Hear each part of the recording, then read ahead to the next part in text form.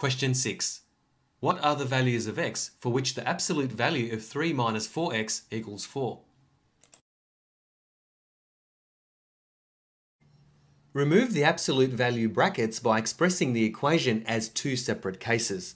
So in case 1, we have 3 minus 4x equals positive 4, and solving this equation by subtracting 3 from both sides, we get negative 4x equals 1. Dividing both sides by negative 4, we get x equals negative 1 over 4. And in case 2, we have 3 minus 4x equals negative 4. Subtracting 3 from both sides, we get negative 4x equals negative 7. And then dividing both sides by negative 4, we get x equals 7 over 4.